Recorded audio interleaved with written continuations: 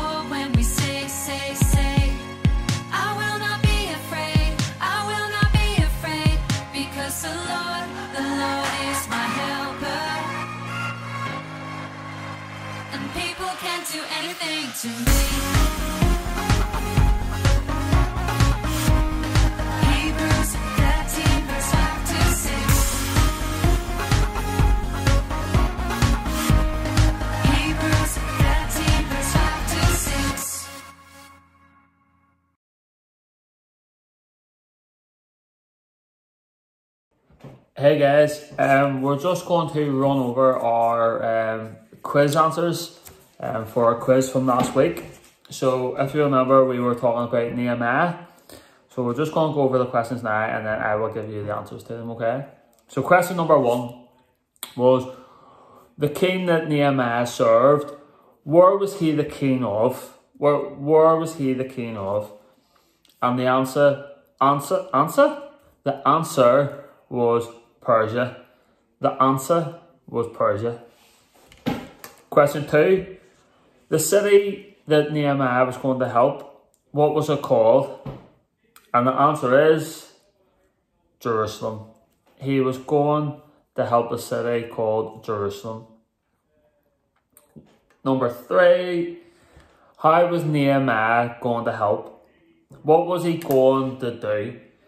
And the answer is he was going to help repair the city. He was going to help um, fix the city walls and to help build them up again. So he was going to help build up the walls. Question number four. Um, how did God help Nehemiah? Well, he helped him in, in a number of ways. So I'm looking three from you. Um, one was he made his hands strong.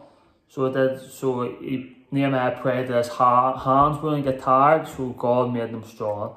Um, he sent help and he sent um, people to help him, so that he wasn't doing it on his own. And thirdly, he protected him, um, and he sent people to tell Nehemiah about um, people were going to try and distract him, and people may have tried to hurt him, and um, so that he couldn't build those walls. So he sent people to help and to protect, and made his hands strong. And number five, how was Nehemiah faithful? Well, Nehemiah was faithful in uh, in a number of ways. And number one was he obeyed God when God um, said that he was going to go and he was going to do this and he was going to help the city of Jerusalem. Nehemiah went um, and he trusted in God. And when he was there, he trusted that God would look after him, he would help him, and he would strengthen him. Um, and even though there were so many things going on, he never ever stopped believing um, and stopped never stopped having faith that God um, would provide and God would um, help him complete his task. So that's how Nehemiah was faithful. I hope you've had fun um, learning about him and um, I hope you guys are keeping well and I can't wait to see you all again. Bye bye.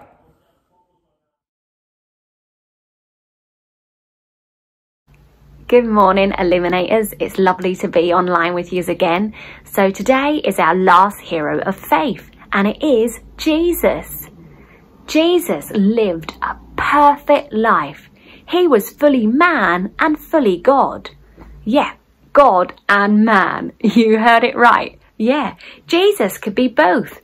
That might seem, hmm, a little bit strange to us, but anything is possible with God. Remember? The Bible tells us that Jesus was God. Some people might think that that's like a little strange, that he wasn't able to be a person too. But he was. You see, we know that the Bible tells us that like any human, Jesus felt hungry, he felt thirsty, he felt sad, he felt happy. So the Bible shows us that Jesus was fully man and fully God.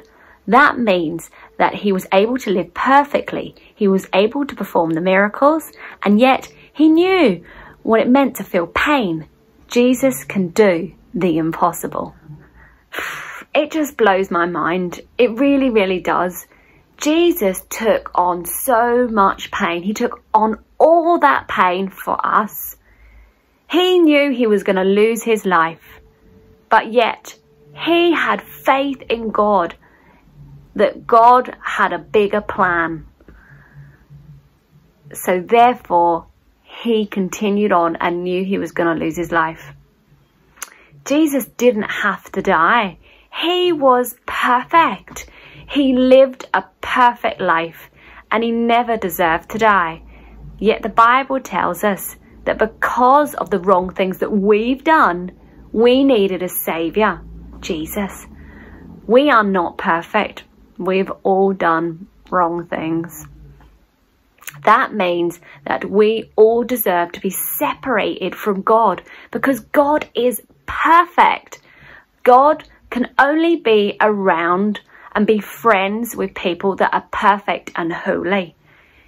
In fact, the Bible says that when we do wrong things, those wrong things mean that we deserve to die.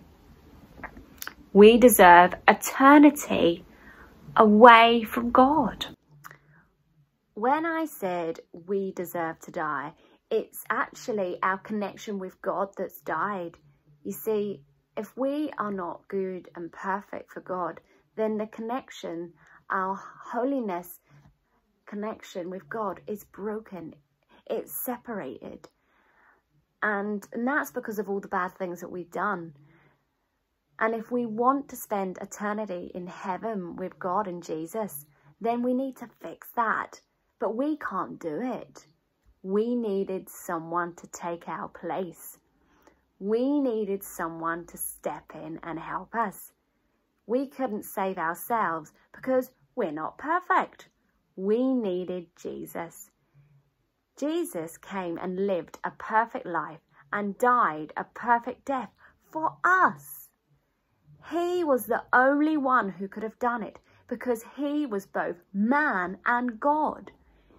He was the only one who could do it because he created us.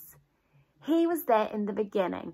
And so Jesus died so that we can be forgiven for the bad things that we've done and be brought back to God. Isn't that amazing? Like we do all the bad things and Jesus was perfect. And he saved us. He didn't deserve to die. He was he was perfect, but he trusted. He was a true hero of faith. He trusted in God's plan, God's rescue plan. So if you believe that Jesus died on the cross for all your all the bad things that you've ever done and you want to ask for forgiveness, then there's a special prayer that you must do.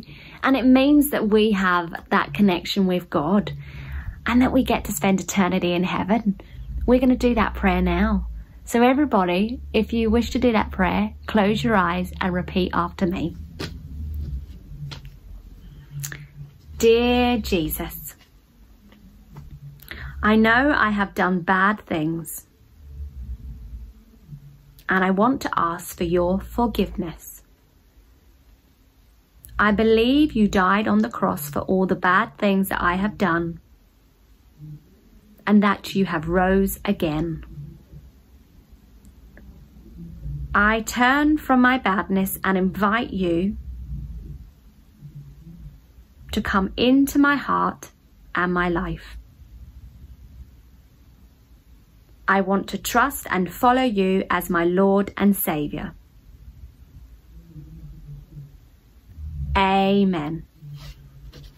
Well done, guys, if you said those prayers. That is fantastic because you are now in a relationship with God. Obviously, you need to keep up your relationship with God by talking to Him and praying to Him and reading your Bible and keeping up to date and watching us here online. Okay, guys, we're going to have a quiz now. Great stuff.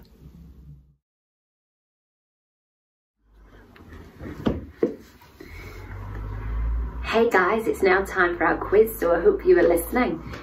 Okay, here we go. Listen up. Question number one Who is Jesus? Question number two Why did Jesus have to die for us? Question number three When Jesus died on the cross, it went all dark. How many hours was it dark? Question number four. If we choose to follow Jesus, what happens? Question number five. Why is Jesus a hero of faith? Alright, be sure to tune in next week to find out if you got your answers correct, which I'm sure you did. See you later. Hey guys, we've come to the end of Illuminate for another week, but that's okay because we're back next week. Woohoo! But before we go, let's pray. So everyone close your eyes and bow our heads. Thank you, Lord, for another amazing week. We had so much fun learning from you in your story, Lord. Thank you, Lord, for all the worship. Thank you, Lord, for all the leaders that put in the time to do it. And thank you, Lord, for all the children and parents that are watching. Lord, I just pray, Lord, that you just help us have another lovely week. I just pray, Lord, that you bless us and keep us safe. In Jesus' mighty name, amen. Okay guys, thank you so much. Have a wonderful week and we'll see you all next week. Bye!